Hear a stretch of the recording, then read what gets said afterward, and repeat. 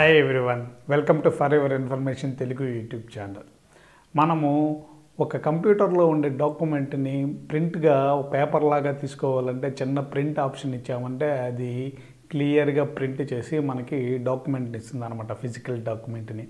అదే ఫిజికల్ డాక్యుమెంట్ని తిరిగి మనం కంప్యూటర్లోకి అప్లోడ్ చేసుకోవాలి అంటే మనకి స్కానర్ కానీ లేదా ఓసీఆర్ కానీ కావాలి. స్కానర్ కావాల్సినప్పుడు ఏం చేస్తుందంటే స్కానరు ఓన్లీ పీడిఎఫ్ ఫార్మాట్లో కానీ జేపీఈజీ ఫార్మాట్లో కానీ అప్లోడ్ చేస్తుంది అనమాట అది డాక్యుమెంట్గా ఎడిట్ చేయడానికి యూస్ఫుల్ కాదు కంప్యూటర్లో. అదే ఓసీఆర్ కానీ ఉపయోగించామనంటే అది ఎడిటబుల్ డాక్యుమెంట్గా కంప్యూటర్లో అప్లోడ్ చేస్తుంది అనమాట ఈ వీడియోలో మనము ఓసీఆర్ అంటే ఏమిటి ఓసీఆర్ ఎలా పనిచేస్తుంది ఓసీఆర్ ఎలా అక్షరాలను గుర్తిస్తుంది ప్లస్ ఓసీఆర్ వల్ల ఉపయోగాలు ఏంటి ఈ వీడియోలో మనము తెలుసుకుందాం. ఓసీఆర్ అంటే ఆప్టికల్ క్యారెక్టర్ రికగ్నైజేషన్ అనమాట అంటే అది స్కాన్ చేసేటప్పుడు ప్రతి క్యారెక్టర్ని రికగ్నైజ్ చేస్తుంది అనమాట అది ఓసీఆర్ కాకుండా కొన్ని మనము ఎగ్జామినేషన్స్లో ప్రతి డాట్ని క్లియర్ చేయండి. ప్రతి డాట్ని మీరు ఒక నాలుగు డాట్స్ ఇస్తారు. అంటే ఏబిసిడి అని చెప్పి ఆ డాట్లో ఒక డా ఒక డాట్ని కంప్లీట్గా మనము పెన్సిల్తో ఫిల్ చేయాల్సి ఉంటుంది.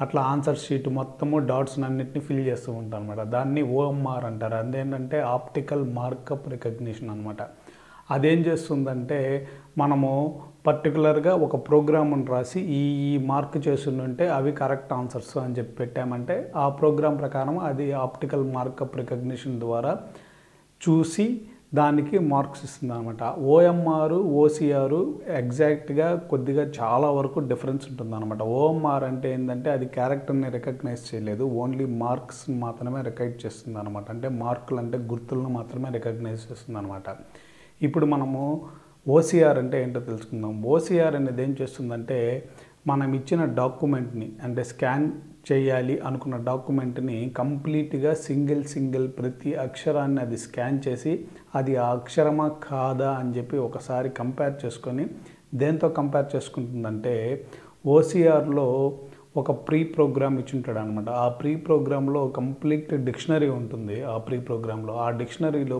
చాలా ఓట్స్ ఉంటాయి అనమాట ఆ ఓట్స్ అన్నిటినీ ఒక్కసారి కంపేర్ చేసుకొని మనం చూసిన క్యారెక్టర్కి ముందు ఏ ఓ ఏ క్యారెక్టర్ వస్తుంది వెనక ఏ క్యారెక్టర్ వస్తుంది ఇది కరెక్ట్ ఓడా కాదా అన్నీ కంపేర్ చేసుకొని తర్వాత అప్లోడ్ చేస్తుంది అనమాట ఫస్ట్ టైము క్యారెక్టర్లని ఇట్లా రికగ్నైజ్ చేయడము అనేది యుఎస్లో నైన్టీన్ సెవెంటీస్లోనో నైంటీస్ ఎయిటీస్లోనో ఏం చేశారంటే వాళ్ళు పోస్టల్ కార్డ్స్ ఇప్పుడు మనం పోస్ట్స్ యూజ్ చేస్తున్నాం కదా ఆ పోస్ట్ని అడ్రస్లు స్కాన్ చేయడానికి యూజ్ చేసేవాళ్ళు అనమాట ఫస్ట్ టైం ఆ అడ్రస్లని పిన్ కోడ్లని స్కాన్ చేసి ఆ పిన్ కోడ్ని రికగ్నైజ్ చేసి అది ఏ ఏరియాకి సంబంధించింది అని కనుగొనడానికి ఫస్ట్లో ఓసీఆర్ని యూస్ చేశారు. దాని తర్వాత మనకి చాలా వరకు ఓల్డ్ బుక్స్ కానీ చాలా కవితలు కానీ చాలా హిస్టరీ బుక్స్ కానీ ఇవన్నీ బయటపడడం ఆ బయటపడిన వాటిని డిజిటలైజేషన్ చేయాలి అనే ప్రాసెస్ వచ్చిన తర్వాత ఈ డిజిటలైజేషన్ ప్రాసెస్లో ఓసీఆర్ని ఎక్కువ యూజ్ చేస్తున్నారన్నమాట.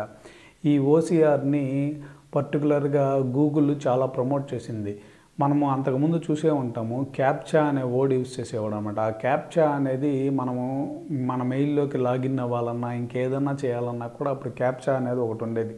ఈ క్యాప్చా ఏంటంటే ఆల్రెడీ ఓల్డ్ డాక్యుమెంట్స్లో ఉండే లెటర్స్ అనమాట ఆ లెటర్స్ని అక్కడ డిస్ప్లే చేసేవాడు క్యాప్చాలో.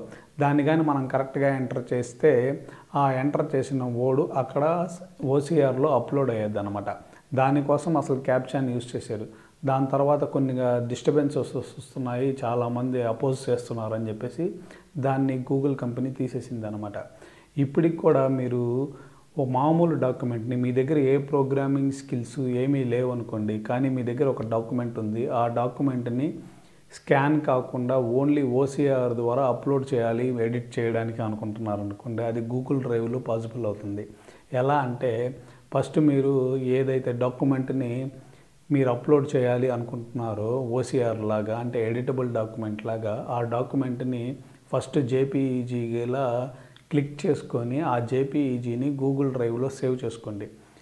గూగుల్ డ్రైవ్లో సేవ్ చేసుకున్న తర్వాత మీరు డెస్క్టాప్ మీదకి వెళ్ళి ఆ గూగుల్ డ్రైవ్ ఓపెన్ చేసి ఆ గూగుల్ డ్రైవ్లో ఏదైతే ఇమేజ్ ఉందో ఆ ఇమేజ్ని ఒక్కసారి లెఫ్ట్ క్లిక్ చేసి ఓపెన్ విత్ అని చెప్పి ఆప్షన్ ఉంటుంది అనమాట అప్పుడు ఓపెన్ విత్ గూగుల్ డాక్స్ అనే ఆప్షన్ ఉంటుంది. ఆ గూగుల్ డాక్స్ అనే ఆప్షన్ కానీ క్లిక్ చేశారంటే ఈ ఇమేజ్ని కంప్లీట్గా అది ఎడిటబుల్ డాక్యుమెంట్గా మీకు ఓపెన్ చేసి ఇస్తుంది అనమాట గూగుల్. ఇది గూగుల్ ప్రొవైడ్ చేస్తున్న ఫ్రీ ఓసీఆర్ ప్రోగ్రామ్ అనుకోవాలి. ఇప్పుడు మనము ఓసీఆర్ ఎలా పనిచేస్తుందో చూద్దాం. ఏదన్నా డాక్యుమెంట్ని మనము ఓసీఆర్ అప్లోడ్ చేయాలి అని ఇచ్చినప్పుడు అదేం చేస్తుందంటే ఫస్ట్ దాంట్లో ఆ బుక్లో కానీ ఆ డాక్యుమెంట్లో కానీ ఇమేజెస్ ఏదన్నా ఉన్నా గ్రాఫిక్స్ ఉన్నా లోగోస్ ఉన్నా వాటిలన్నింటినీ ఫస్ట్ రిమూవ్ చేసేస్తుంది అనమాట రిమూవ్ చేసేసి మనం ఏదైనా కలర్ పేపరు ఏదన్నా ఇచ్చామనుకోండి స్కానింగ్కి అప్లోడ్ చేయమని చెప్పి ఆ కలర్లు అంటే రెడ్లో ఉన్న గ్రీన్లో ఉన్న బ్లూలో ఉన్న ఇట్లాంటి కలర్ డాక్యుమెంట్స్ అన్నింటినీ డీకలరైజ్ చేసి ఓన్లీ బ్లాక్ అండ్ వైట్లోకే మార్చేస్తుంది అనమాట బ్లాక్ అండ్ వైట్లోకి మార్చేసిన తర్వాత ఈచ్ క్యారెక్టర్ని స్టడీ చేసి ఆ ఓట్స్ కరెక్టా కాదా? అని చెప్పి దాన్ని ప్రీ ప్రోగ్రామ్ డిక్షనరీలో కంపేర్ చేసుకొని కంపేర్ చేసుకున్న తర్వాత ఆ టెక్స్ట్ని అప్లోడ్ చేసి ఎడిటబుల్ డాక్యుమెంట్ ఫైల్గా సేవ్ చేస్తుందన్నమాట. ఇది యాక్చువల్కి ఓసీఆర్ చేసే పని. చూశారు కదా ఇప్పుడు ఓసీఆర్ అంటే ఏంటో తెలుసుకున్నారు ఈ వీడియోలో.